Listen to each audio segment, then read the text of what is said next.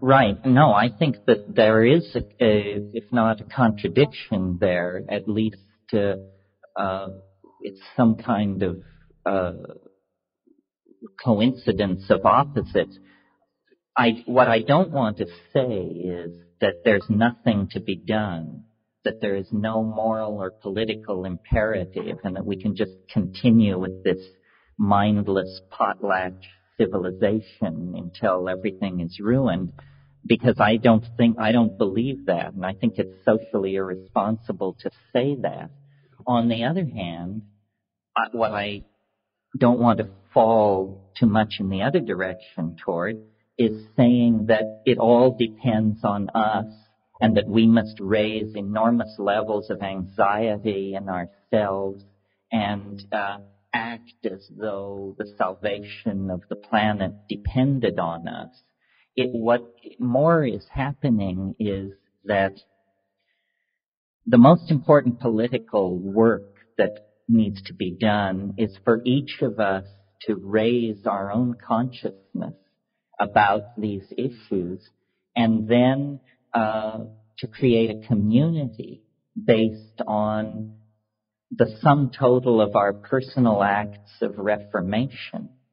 So, you know, it is very important to uh, uh, bring help to people in the third world who are struggling to raise families and preserve their environments and this sort of thing. But if I were a rationalist, I would be completely despairing so we are more in the role of like midwives of this new order.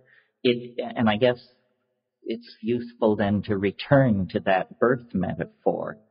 The birth of the new humanity and the new earth is going to happen. But in the same way that a midwife or, or an obstetrician can ease a birth, make it smoother, make it less painful for all concerned. That's the role that political activism needs to take. So I think we should uh, act as though the salvation of the earth is on our shoulders, but feel as though it is an automatic unfolding that we need not uh, have anxiety about. You know, the Chinese philosopher Wu Po Yang said, uh, worry is preposterous. And I think that's true. Uh, we don't know enough to worry. And to, to worry is in a sense a kind of act of hubris because you are claiming complete knowledge of the situation and then you worry. And so what is much more empowering and what makes the, the process of historical ending easier, I think, is to act from your heart and to individual acts of caring are more important than grandiose, than giving your energy to grandiose political schemes. I mean, it almost comes back down to the, to the gospel admonition to you know, heal the sick, clothe the naked, visit the imprisoned, bury the dead. But there's nothing there about grandiose political reform and all that sort of thing. That, I think, arises out of the zeitgeist of the collectivity. And I'm very hopeful. People have a sort of hear my rap differently. I mean, I've had people after what I thought were inspiring panegyrics come up to me and say, but it's such a dark and horrifying vision. It means that I failed as a communicator in that situation because I'm the gonest and most irrational hope freak I've ever met. I mean, I think everything is fine. Everything is going toward the purpose for which it was intended but it's an act of conscious awareness on the part of each of us that carries us towards that. So, you know, often in what I say, there is, if not the fact of contradiction, then the appearance of contradiction. This is because, to my mind, life is complicated enough to admit of contradiction. Was it Oscar Wilde or who was it who said, I contradict myself? I contradict myself. Um, logical consistency is one of the, the prejudices that we've inherited from the scientific attempt to describe the world. But in fact, even science at its basic level has now abandoned that as an ideal. In quantum physics, the way it's done mathematically is you have an ordinary causal logic uh, and if-then logic. But in order to handle what quantum physics is attempting to describe, you also have to have what are called islands of Boole or islands of Boolean logic, which is embedded in the standard logic and which is a logic of both and. And you cannot reduce this to a non-contradictory description. The great thing about the rational program of science is pushed far enough, it reveals the irrational foundations of nature. And that's really what the crisis in science now is. The, the cutting edges of physical science have contacted the Heisenberg uncertainty principle in the 20s, the anthropocentric principle in the in the 80s and 70s, and uh, we are realizing that somehow the notion of an observer outside the system with a godlike objectivity and uh, zero input into the situation, that was a necessary fiction for the more naive program of description of nature. But as we move into the more sophisticated description of nature, we have to place the observer in the picture and then there is going to be a, a reverberation of contradiction that is uh, uh, probably can't be gotten rid of. I mentioned a little, or I referred to this in the talk last night, where I said we shouldn't push for closure. We should accept that it is in principle mysterious. And so we are never explaining life or relationships or economies or whatever we're looking at, we're describing them with ever more prescient accuracy. But, but we cannot uh, eliminate the unknown. One of my teachers years ago, West Churchman, wrote a wonderful book called Planning on Uncertainty. And I think, you know, we all need to plan on uncertainty, and it's the one thing that is left out of most models because the model builder has such faith in the model that he would never build in a trapdoor into the realm of uncertainty. And yet life is composed almost entirely of these kinds of trapdoors, you see. Does that do it? So, do I understand then that um, in in your vision, um, we really don't know anything about what it's going to look like once we're out of the birth canal. But what we can do now is behave with integrity toward the world that we're in today. Is that right? That's right. And it's not that in principle we can't know what it's like out beyond the birth canal. It's simply that it's too early. I used the metaphor last night of that the transcendental object is below the event horizon. It is. And so all we can see is the rosy glow of its promise at this point. But give us 10 years and the actual edge of the transcendental object will rise above the event horizon. I mean, I don't think that we are marginalized or uh, part of fad and fashion. I think this is actually the rising modality necessary for the future if we're going to make it through. In other words, I suspect that 10 years from now, 15 years from now, the things we are talking about today will be the general metaphors and concerns in society because I'm, I just have a very strong intuition based on, you know, uh, a lot of journeying into those hyperspatial modalities that uh, this is the path. And I'm sufficiently convinced of that to submit it to a kind of intellectual plebiscite. I mean, I believe that ideas compete with each other the way animals compete in an environment, and that the best ideas, the most fitting ideas for the human adventure will will uh, eliminate their competition, and that's what we're experiencing now in in the political domain is a competition between uh, ideological systems roughly comparable to dinosaurs and mammals, and you know you can decide which is which, but the two are incommensurate and, and one is in the act of eliminating the other. And so it's a matter of uh, observing this process, understanding it, and being comfortable with it. If you're right, I don't think you need to feel any urgency because uh, that will quite naturally percolate out uh, in the mix. Many of you have heard me quote William Blake. It's always worth repeating.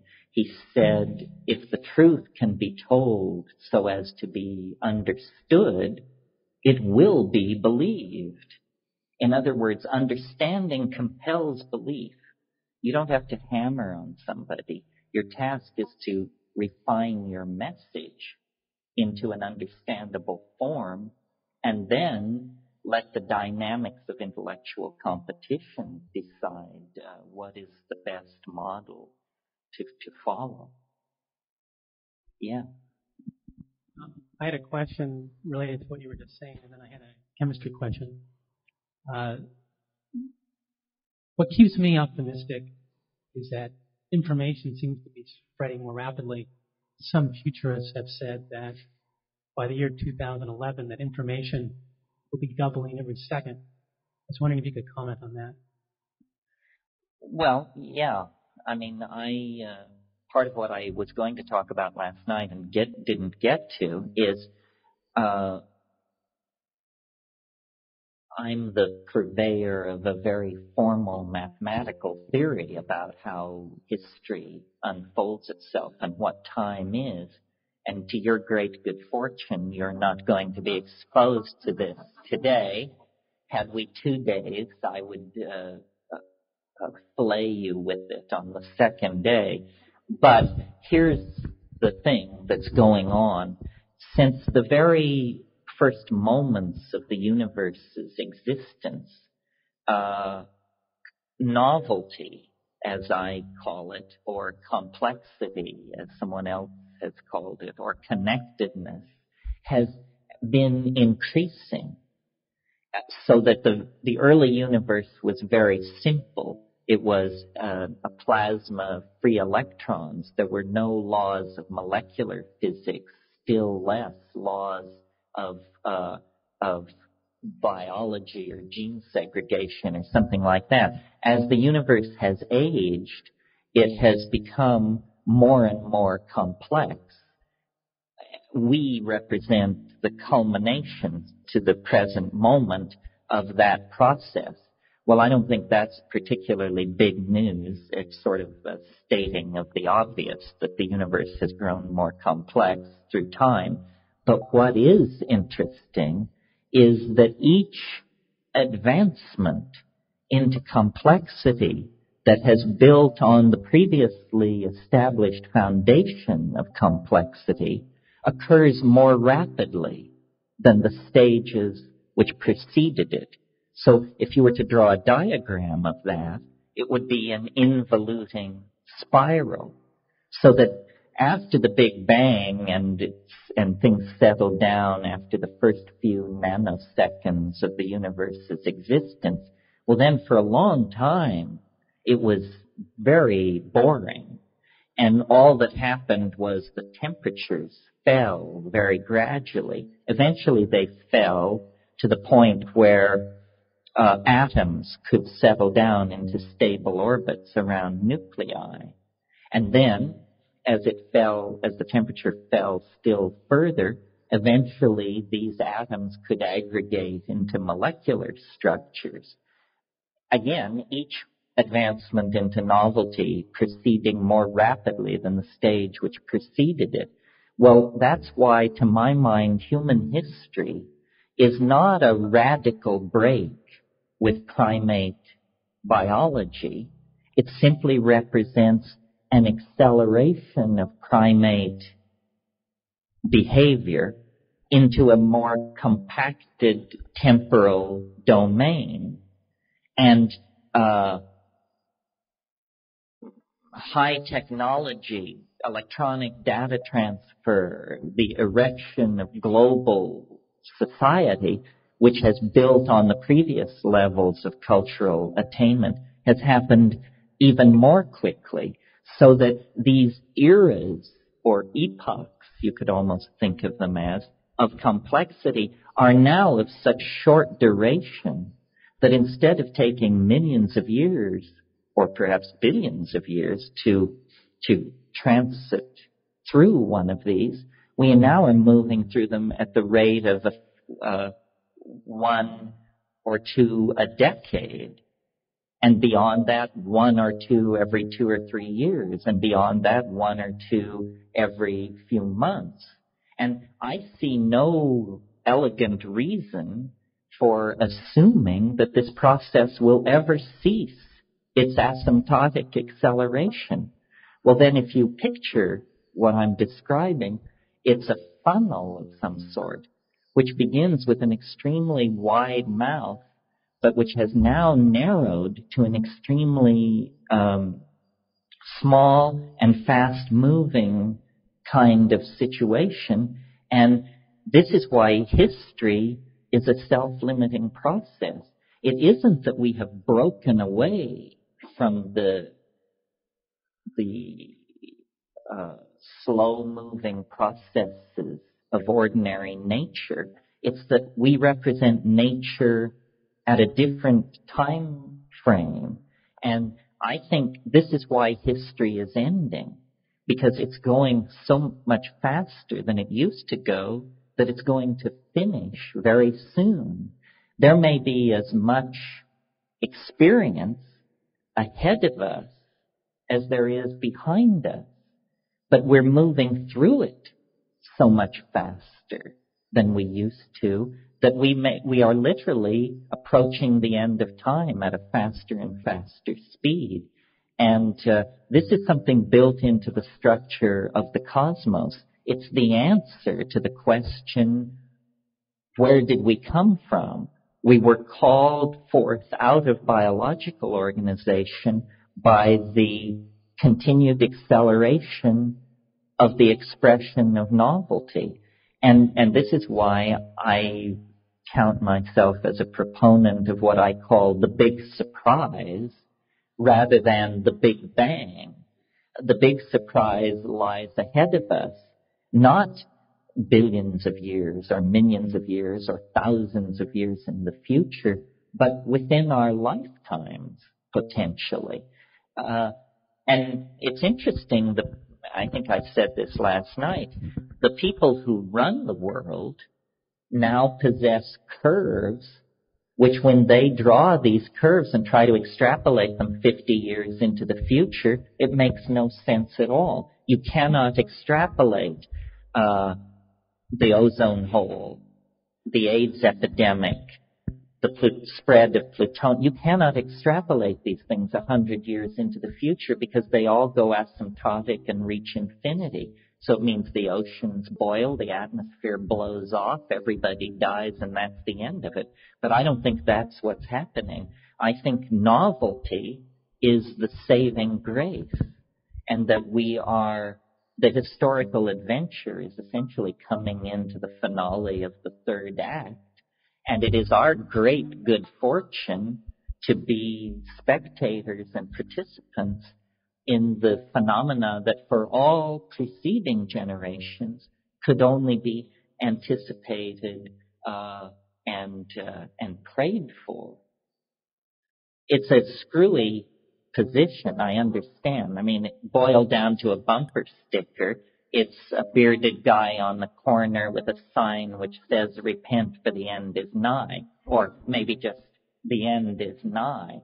But I think all the evidence is that uh, the soul is about to collectively leave the body. The human imagination married to technology has become a force too powerful to be unleashed within the fragile ecosystem of this planet.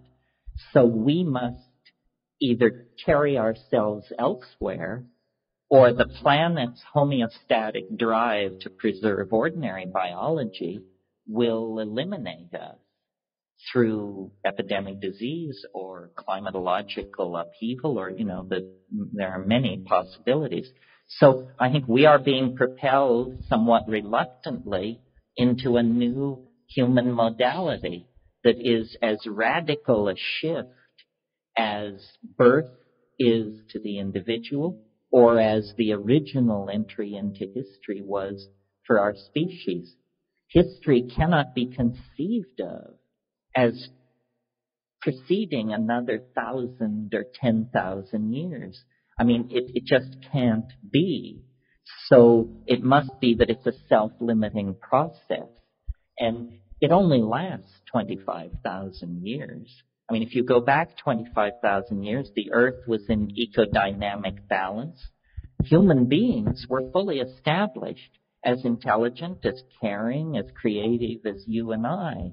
Uh, theater, poetry, dance, love, hope, tragedy, religion, all these things were in place. But history represents uh, Gaia hitting the fast forward button on the evolution of the primates, and it it seems of long duration to us because we, at the level of the expression of the individual phenotype, are as ephemeral as mayflies. You know, a person lives 70 years, 90 years, and then they're gone. But on a scale of, of 25,000 years, clearly what is happening on this planet is the emergence of an entirely new kind of order within the natural order. It is natural, but it is new. There is no contradiction in this. Once atoms were a new invention. Once molecules were a new invention. Once polymers were the cutting edge of what's happening. Now the cutting edge of what's happening is large scale primate machine integrated societies based on the movement of information. Did that do it? Yeah, yeah. Oh, you want to follow on? No, quick. Oh, yeah, I'm sorry. Uh, it's 5-methyl-oxy N-N-dimethyltryptamine crystalline legal to possess. And would one, if one was going to mix it, would one mix it with harmine, harmelo, uh, heroline, or heroline, or harmaline? That was a word salad. Um, well, I think you're asking about 5-MeO-DMT, 5-methoxy-dimethyltryptamine, the toad foam of recent fame. Uh, as far as I understand, I think that it's legal. However, it would probably depend on the length of the fangs of the local DA because there is what's called the congener law, which says that structural near relatives of hallucinogens can also be prosecuted as illegal compounds. As far as the question about the harmine alkaloids, harmine, harmaline, tetrahydroharman. Harmelo, I think, is apocryphal, um, specious. The, but the notion which must lie behind your question is harmine alkaloids inhibit monoamine oxidase, which is an enzyme system in the human gut that tends to inactivate um, amines, monoamines, of which these hallucinogens almost all fall into that category. Uh, you could attempt to inhibit your MAO with a harmine, with a dose of harmine or harmaline, and then smoke 5-MeO DMT. But I, I don't recommend this unless you are a pharmacologist with hours and hours of psychedelic flight time on your log. This is certainly nothing for the ingenue to attempt. Once you, once you get out into the realm of synergies, that means what happens when you run two metabolically active compounds at the same time, and some people do three and four and five, you know, you're definitely on your own because pharmacology doesn't study drugs like that. They study them in isolation, their activity. And, you know, some people say of the smokable tryptamines, they are so quick that wouldn't it be logical to inhibit your MAO in order to freeze frame the experience and instead of having it last three minutes, have it last 30 minutes? Yes, that's a fine idea, but what if it lasted 30 hours instead? I mean, you, you don't, you know, a miss is as good as a mile in this game. So you should be, have your mantras ready. You push off, uh, into that. Yeah. While we're on the subject of chemistry, I have a quick and easy question.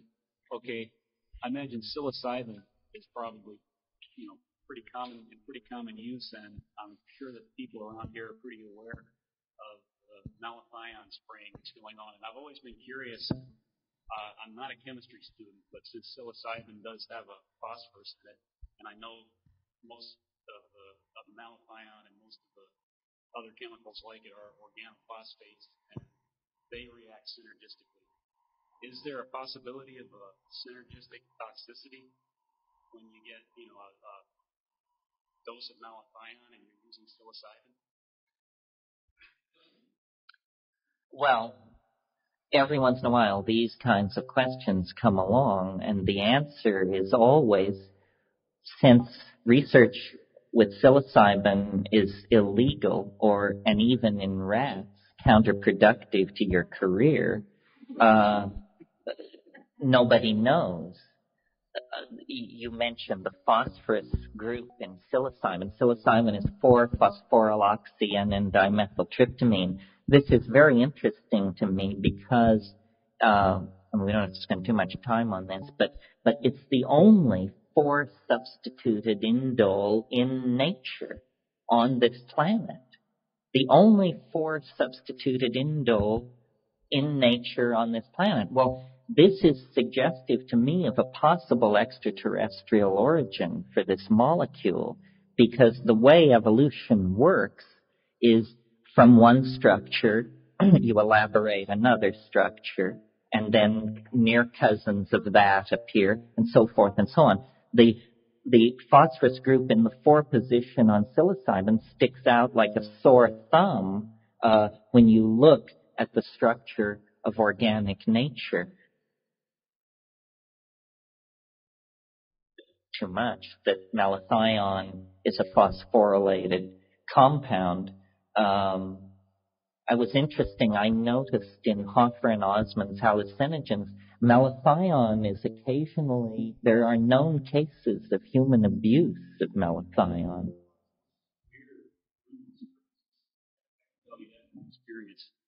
And, and is, is there a bigger debt to pay at the dose where it does that? In other words, I don't know. I, you know, not not by the aerial spraying, but accidentally working with it, you know, fairly concentrated. Uh, I've gotten it on my skin, and for several days I had very disturbed dreams and a broken sleep, and I think that that's it's pretty well recorded. That's not uncommon at all. Well, that's very interesting uh, because it's a neurotoxin. It also creates a neural disturbance. You know, I'm willing to to buy into the notion that all drugs are poisons at certain doses. All substances are poisons. at certain doses. I mean, you can kill yourself with common salt if you eat three pounds of it. That's all she wrote for you.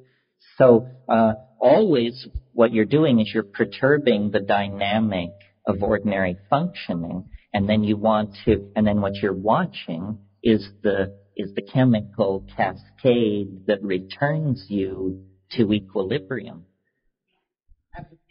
Mm-hmm. Psychedelic type of compound used in many cultures, but never really with much pleasure. I don't think um, many cultures actually would posit that uh, Jimson weed, for instance, is, a, is, an enjoyable high. So it may give you psychedelic experiences, it may give you vivid dreams, but it's not um, something that many people would volunteer to take. Go to that type. Yeah, well, that's something worth talking about, and certainly I found it true.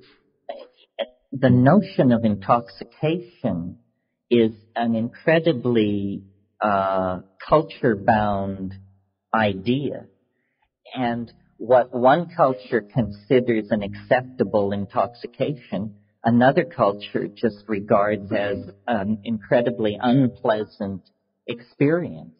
Uh, alcohol in high doses is not something most rational people would care to repeat, I think, unless there were cultural conditioning pushing you toward that, or tobacco. I mean, essentially that's an experience of toxicity.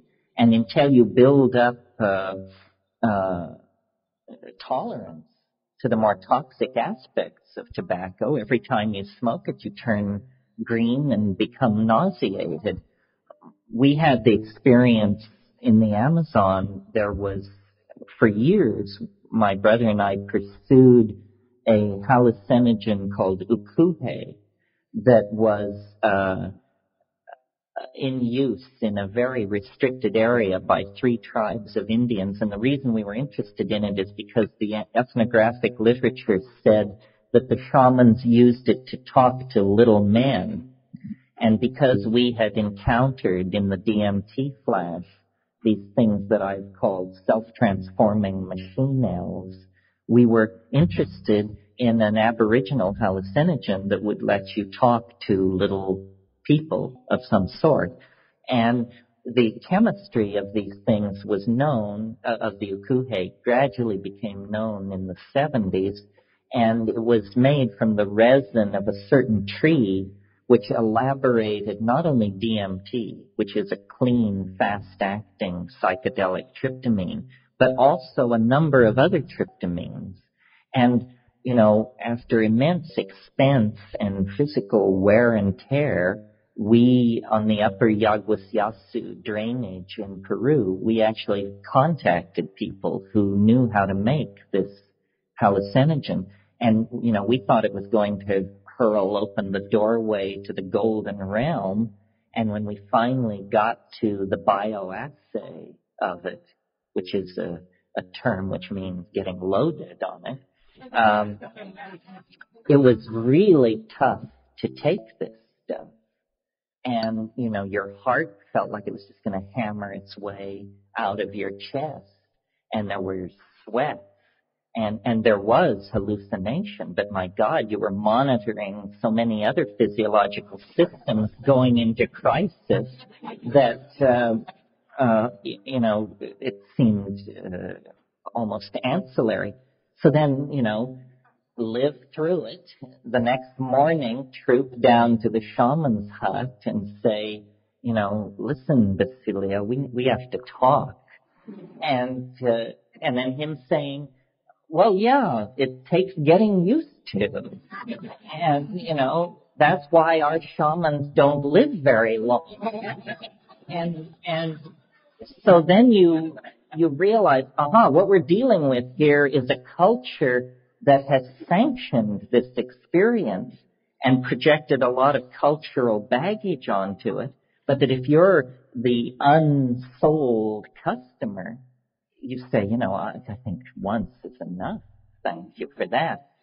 A more familiar case that I think is similar, although some people rise up in holy wrath and we get into great arguments about this. But my personal opinion is that Amanita muscaria Do you all know what that is? It's the red mushroom uh, of European folk mythology. In German, it's called the Fliegenpilz.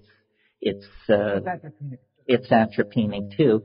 Well, a lot of people who never got loaded on it spewed a lot of scholarly argument about how this was a wonderful shamanic intoxicant. But I submit to you in most cases it comes closer to being an ordeal. And it, it may be that because of genetic variation, seasonal variation, individual variations in the expression of its genome, edaphic factors, meaning the soil that it grows in, uh, the nature of its mycorrhizal relationship, and in other words, we've staked out here about an eight variable equation relative to Amanita muscaria, that sometimes it's wonderful. But unless you have always been in that area and can draw on the shamanic lore of great tradition about it, I think just going out into the woods and launching down on the first Amanita muscaria that you come upon is probably a ticket to the emergency room uh, if you're if you're not very careful. Uh, in Madagascar, there are no uh, hallucinogens as we would understand it, but there are what are called um, ordeal poisons. This is an entire category in Madagascan Aboriginal shamanism. What's going on here, there, is there are these plants which that you take them and you at first assume you're going to die because you feel so bad. And then you feel so bad that you beg to die. And then you don't die and you recover completely within 10 to 12 hours. And you are so damn glad to be alive that this has all the characteristics of a psychedelic experience. I mean, you come down a kinder, gentler, more attentive, more decent human being, but it's only because you've been hurled into the jaws of death itself and then brought back. That will work folks. But so my my interest has always been to to squeeze the definition of psychedelic, to narrow it, to make it more precise. I mean, sometimes people say, well, you're, you're, it's about altered states. Well, there are all kinds of altered states, thousands of altered states, without even talking about drugs. We can talk about, uh, uh, being in love, being abandoned in love, uh, being jealous, being anxious about your financial situation, uh, suddenly seeing the your roots in high Atlantis. These are all altered states. None of them are psychedelic. Well, then you move into the realm of drugs.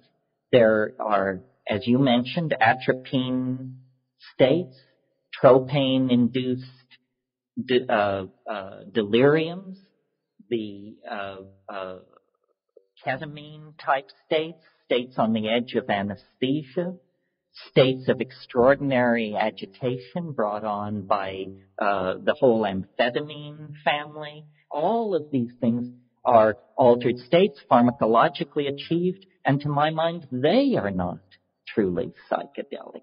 What psychedelic means to me is, in structural terms, a very small number of compounds, all based on uh, on uh, indole. The indole hallucinogens are the true psychedelics. And let's see, what are they? There aren't that many. Uh, there's LSD, which is a, a semi-synthetic made in the laboratory, but from organic precursors, usually. LSD, uh, ibogaine, about which not much is known because it has never achieved much currency in the underground in this country. Psilocybin, DMT, um, and the beta carbolines which are monoamine oxidase inhibitors, but only hallucinogens at close to the toxic dose. And that's it. Peyote is an interesting uh, is an interesting edge situation because mescaline is not an indole; it's an amphetamine. And if you look at the, the chemical pharmacological profile on peyote, it's uh, different from all these others. First of all, an effective dose of mescaline is, according to the, to the literature, 700 milligrams. That's a, a pile of white powder in the palm of your hand. In other words, it's, it's a, it's a, an inefficient drug. It puts a lot of strain on your system. There are different ways to think about toxicity. One way is to ask, how much of this compound do you have to take to experience an effect? If you have to take 700 milligrams, then it's a pretty crude uh, drug because that's a lot. On the other hand, you know, LSD is at the other end of the spectrum.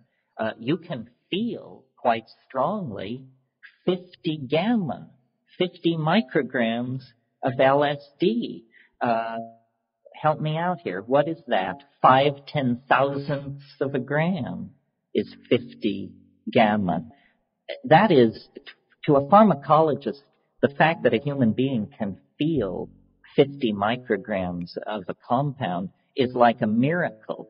I mean, to give you an analogy so you can understand that, that's like having one red ant tear down the Empire State Building in 30 minutes.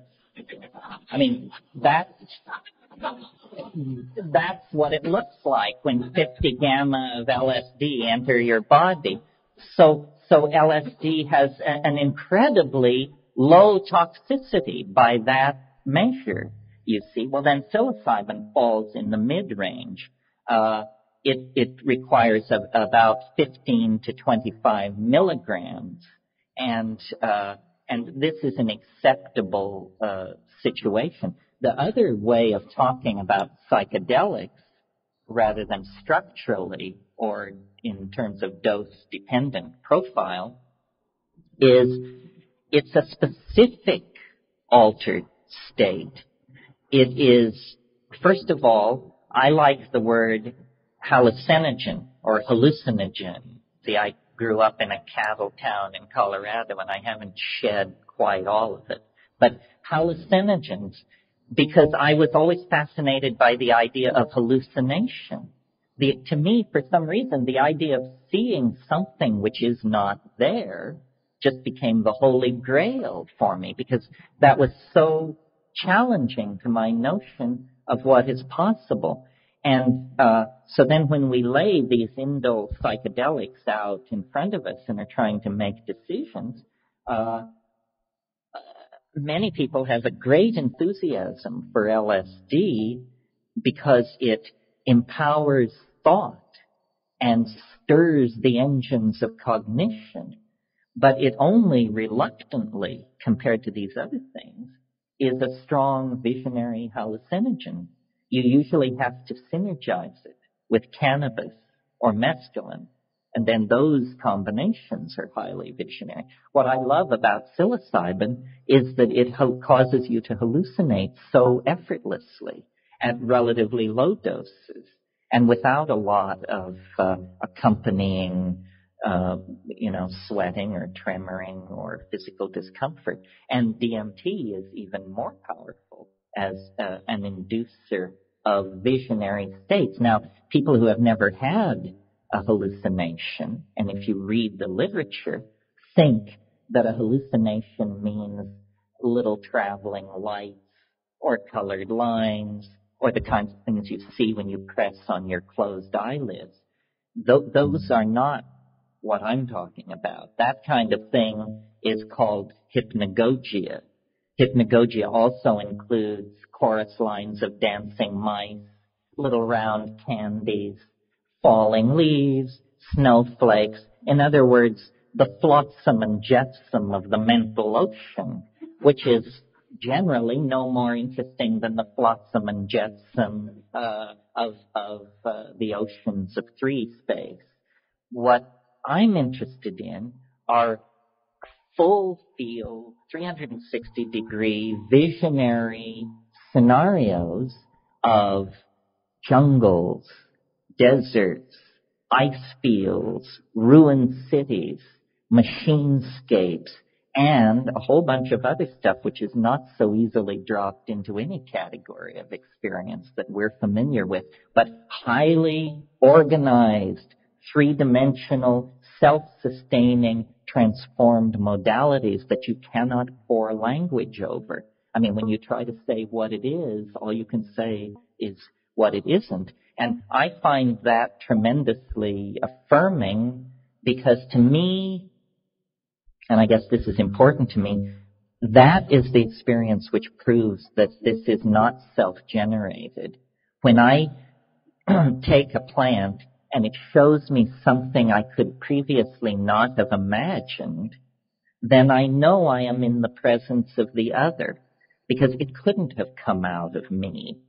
I mean, if you insist that the volleys, that the Niagara of hallucination caused by psilocybin is generated out of the dynamics of your own psyche, if you insist that that's true, then you are unable to explain what your own psyche is. In other words, you become unrecognizable to yourself in that case. And if you are unrecognizable to yourself, you are not yourself in some sense. So I prefer to believe that it's coming from the outside, that mind is a field into which we dip the dipstick of observation, but it's not being generated in the neurons of the brain. Yeah, this guy's been waiting patiently, or perhaps impatiently.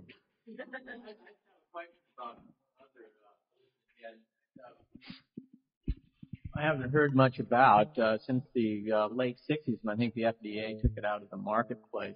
Uh, it was the Hawaiian wood rose. Well, Do you know anything about that? Sure, yes. Um, Hawaiian wood rose, Argyreia nervosa.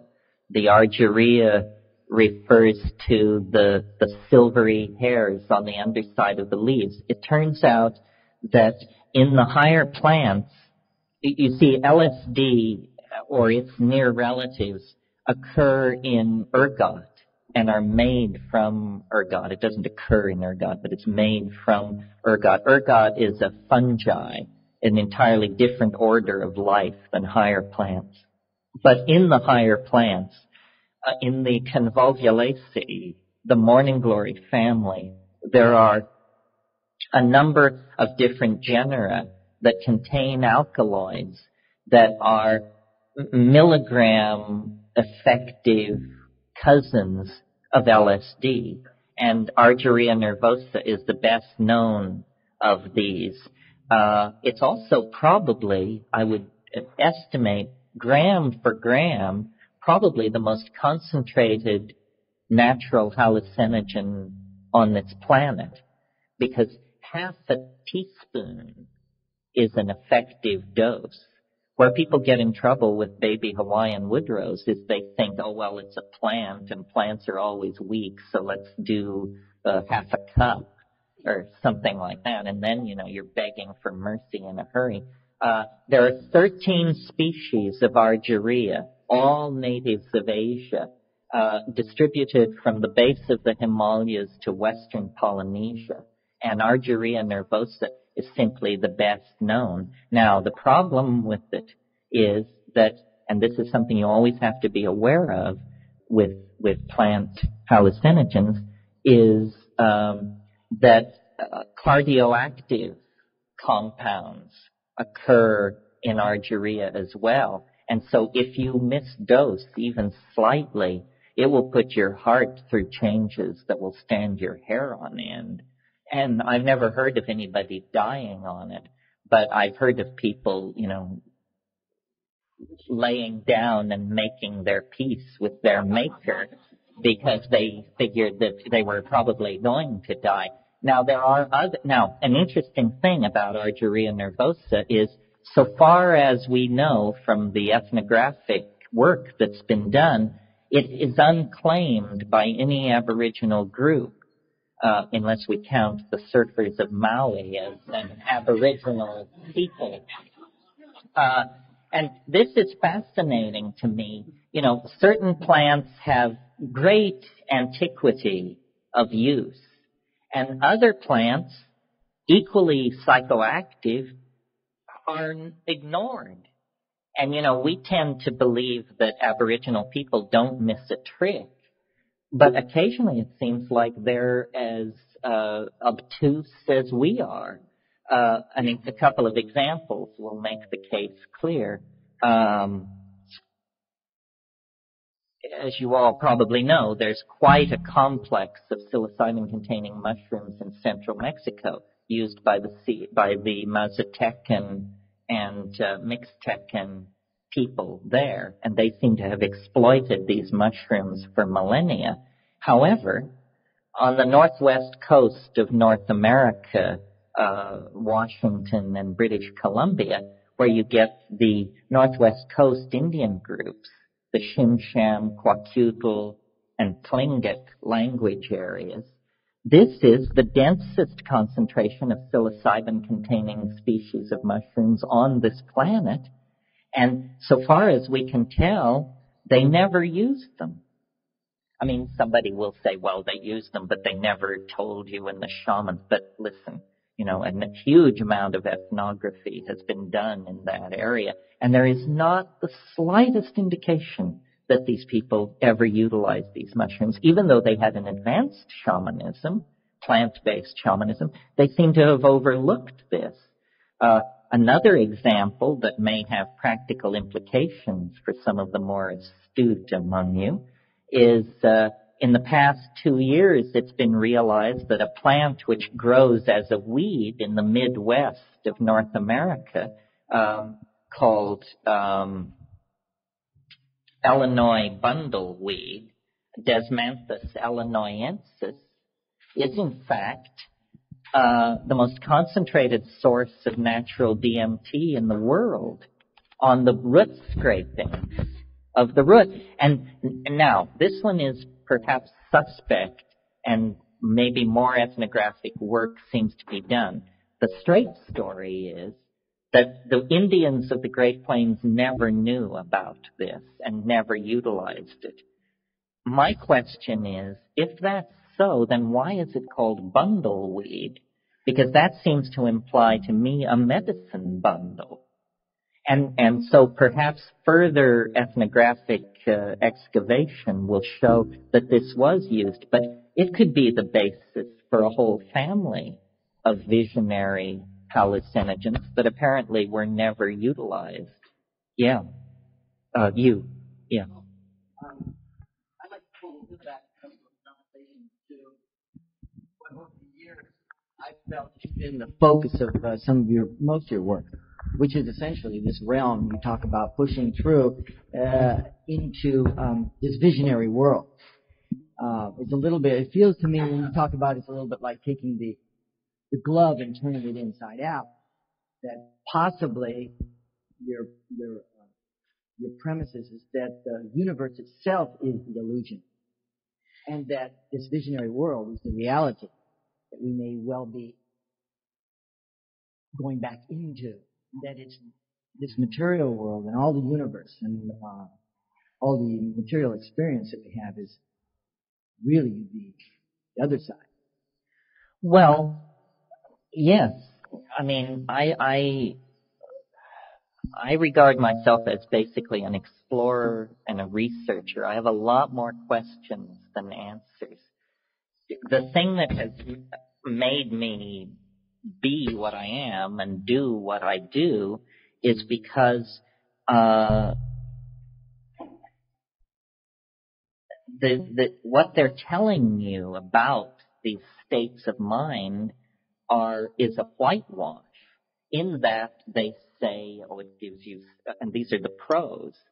The people who are for hallucinogens say it's a form of instant psychotherapy. It's great for straightening out your relationship. It's if you're an architect, you can visualize buildings in 3D. They present it as a tool for understanding this world, its relationships, and its, you know, interconnections what I've observed is that at high doses and with sufficient intentionality, one seems to break through into what can only be honestly described as a parallel universe of some sort that has such existential presence and immediacy that it's hard to squeeze it down to being a mental construct generated temporarily in your mind through pharmacological means because it seems much more like a place. And this is incredibly challenging to our uh, way of thinking about reality because we deny the existence of these kinds of mental realms. Uh, it seems almost as though, or, or here's a model for how it might be. It seems that reality is a series of heavily compartmentalized universes of some sort. And under extraordinary situations of mental perturbation achieved by any means, uh, these membranes that keep these worlds mutually exclusive and sequestered from contamination by each other just simply dissolve. And you experience what Mircea Eliade called the rupture of plane. And the rupture of plane is just like poking a hole in nearby space. And then lo and behold, you know, the utterly unexpected is found to be alive and well right here, right now. I mean, it, and I can't stress enough how real this is and how confounding it is. I mean, I may not be the brightest person around, but I certainly have assimilated, you know, the basic shtick of what Western civilization is supposed to be about. And there is no place in the Western model of reality for the idea that just, you know, 20 heartbeats and 70 milligrams of DMT away is an elf infested uh, mega space of, archeolo- of, of arcology sized dimensions in which non-material beings made not of matter but of syntax are merrily pursuing uh, their own goals and possibilities. I don't know what to make of that. And I also, almost equally puzzling as the existence of such a place, is our lack of knowledge about it when I and hundreds of other people in my experience and presumably millions of people throughout history have known that you could use plant hallucinogens to break into that world. We're living in a fool's paradise, trapped inside the assumptions of linear materialism and rationalism. That's the most seductive and delicious aspect of your thesis is that, my God, there is a reality somewhere uh, beyond that membrane. And then you compound it with, with the exploration of logic or rationale where you present to us the possibility that the Big Bang is the biggest, is the most ludicrous thing to combine with rationality as could possibly be imagined. And then I've even heard people address well, how is it possible that the vanity of the individual human being could think that he's so important that the rest of the, the galaxy, the universe out there, that we should be at all significant, whereas you say, well, hell, that's all mindscape. It doesn't exist. Or it feels like you say, well, it's, it's a mindscape.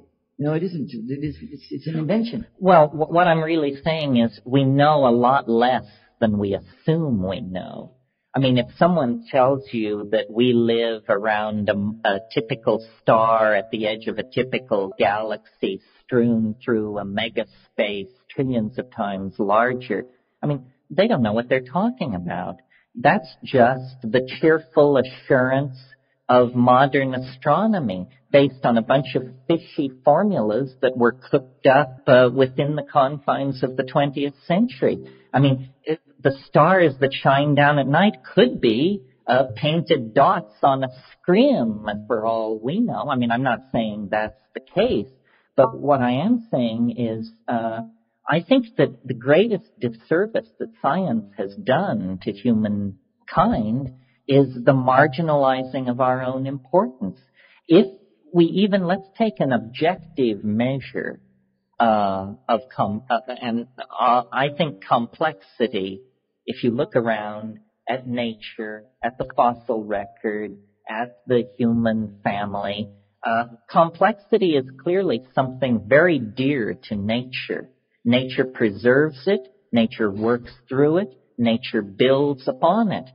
Well, uh, we're told we're a minor this in orbit around a minor that in a typical that and so forth and so on. But if you will look at the human cerebral cortex, what you discover is the most densely complexified matter known to exist in the universe. The human cerebral cortex contains more connections per cubic centimeter than any form of matter known to exist in this cosmos. If that's true, suddenly our marginality is completely obviated and it's clear that no, we are not marginal observers of a vast cosmic drama. We are uh, at the cutting edge of the development and conservation of complexity. And it is our mind which gives us these scenarios of our, of our position in space and time. It may well be that the human mind is very, very important. The human mind represents the culmination of biology, which is another phenomenon that these astrophysicists always love to marginalize and say, oh, well, biology, it's going on on one planet. As far as we know, it could be a fluke. It may have happened once and it'll never happen again. But, you know, the life of most stars is on the order of 500 million years.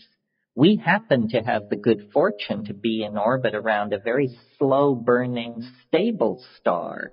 And so we have ignored the fact that most stars last less than half a billion years. We can dig into the Gunflint chert of South Africa and bring up fossils of, of uh, soft-bodied creatures that are close to three billion years old, six times the life of most stars in the universe. So when somebody's trying to tell you that what the universe is about is the life and death of stars, they're ignoring the fact that biology is a phenomenon as persistent as any phenomenon known to exist in the universe. And biology is not a static phenomenon. It isn't an endless recycling of of fissionable materials the way star life is, biological life has been steadily complexifying itself over the entire time span of its existence. So life is not marginal. Mind emerging out of life at its more complex levels of organization is not marginal, and we are not marginal we are, I think, tremendously important in the cosmic drama, and that a rational analysis of the situation will support that. Yeah. You comment in that regard. You comment on Lynn Margulis's theory that that all, all of life, all of plant life is a reorganization of bacteria, and all of animal life is a further reorganization of bacterial life, just to get bacteria to move around from place to place. And the cerebral cortex is just a lot of modified spirochetes that have organized themselves in a certain way. And then in, in my reading of her, the, the way you put human beings in this picture is that we're just an experiment in the way station of bacterial life, which may or may not work. In other words, our destiny is not really in our hands. To think that we can control our fate is really hubris or, just or illusion. Well, it's certainly illusion. I mean, it's pretty clear we don't control our fate. Yes, you see, one way of looking at evolution, I mean, I just offer this as a heuristic insight, is that life achieved absolute perfection with the first organism. And then this first organism underwent mutation. That's a kind of damage, which it then repaired the mutation through a strategy of complexification.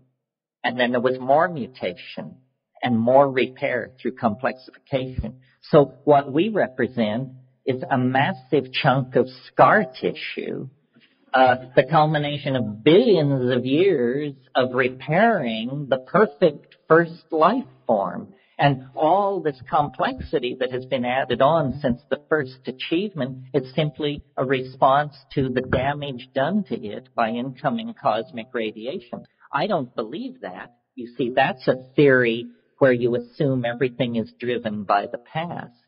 I think that uh, that what is really hanging up modern biology is its absence, its unwillingness to entertain the possibility that life is driven by purpose.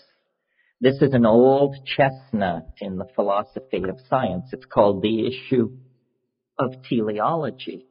Teleology is a fancy word meaning purpose. And the, what happened, you see, is it's just simply a legacy of our intellectual history.